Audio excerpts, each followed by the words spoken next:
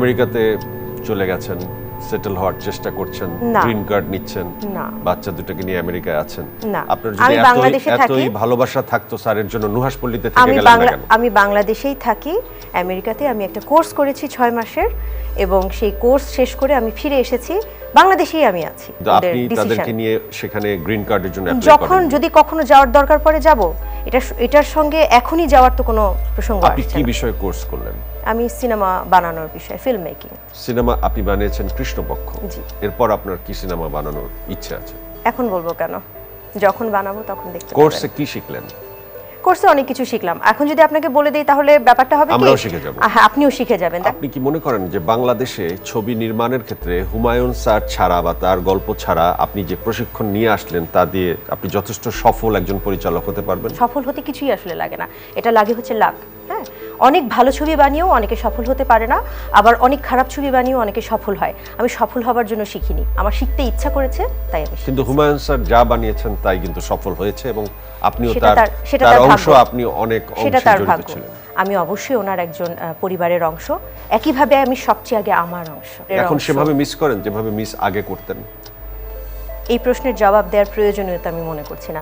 Miss করা এমন একটি ব্যাপার যেটা টেলিভিশন সেটের দর্শকের সামনে দিতে হবে বলে আমি মনে করি না।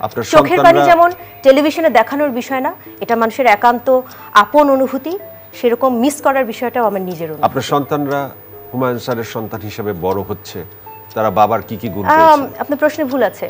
আমার সন্তানরা হুমায়ুন আহমেদ এবং আমার সন্তান সেই হিসেবে বড় হচ্ছে না। তারা হুমায়ুন আহমেদের এবং আমার সন্তান।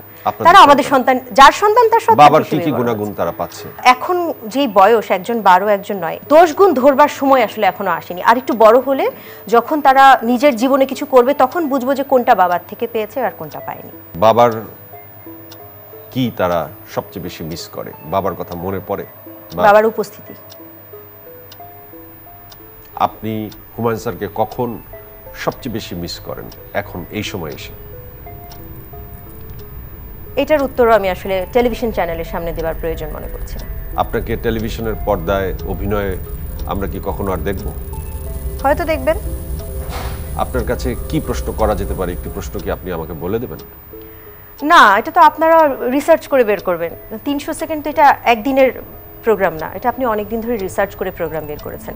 এবং বিভিন্ন অনুষ্ঠানে মানুষকে ইন্টারেস্টিং এবং এবং ফ্যামিলির তীর বিদ্ধ বাকি প্রশ্ন করে আপনি খুব বিখ্যাত। তো আপনি কেন আমার কাছে স্যারের ফ্যামিলির বাকি অংশ যারা হুমায়ুন স্যারের প্রথম স্ত্রী তার কন্যারা এবং তার পরিবারের অন্যান্য সদস্যদের সাথে আপনার যোগাযোগ হয় এখন? আছে? বন্ধু বান্ধব বা মা বাবার সাথে হয় না যে রোজ ফোন করি কি ভাত খাইছো?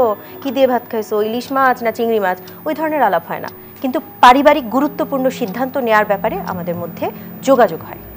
হুমায়ুন স্যারের সম্পদ কি ভাগাভাগি হয়েছে? এই উত্তর জানার কি আপনার খুব দরকার আছে? আমার জনগণ জানতে চায়। না জনগণ জানতে চাইলেও এটা সম্পূর্ণ পারিবারিক ব্যাপার। পরিবারের ব্যক্তিগত ব্যাপারগুলোকে সামনে আনতে চাইছেন না। যতটুকুন সামনে আনা দরকার ততটুকুন সামনে আসলেই হবে। কিন্তু আপনার অসাধারণ কণ্ঠটাকে তো আপনি সামনে এনেছেনও। হুমায়ুন স্যারের স্মরণে আপনি চারটা লাইন গান আমাদের শোনাবেন। স্যারকে যেভাবে গান শুনিয়েছিলেন, বেঁচে থাকা অবস্থায়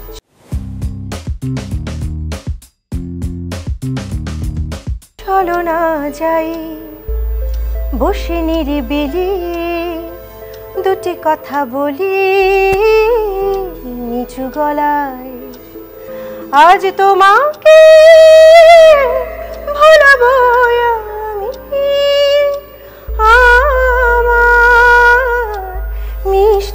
মিষ্টি কথা মালায় চলো না যাই।